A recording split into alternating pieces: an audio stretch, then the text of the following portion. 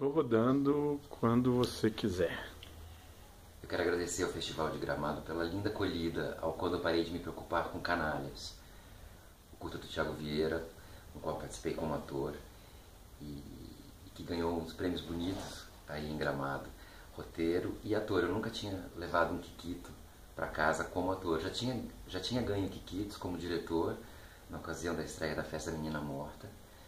É, e agora eu tenho meu Kikito de ator, que eu ganhei justamente por um, por um curta-metragem.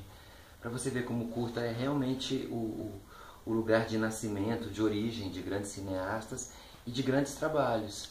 Então meu Kikito é um Kikito de melhor ator num curta-metragem.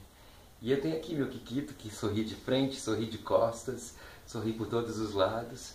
E a gente agradece o carinho todo, o respeito. E espero voltar logo a Gramado.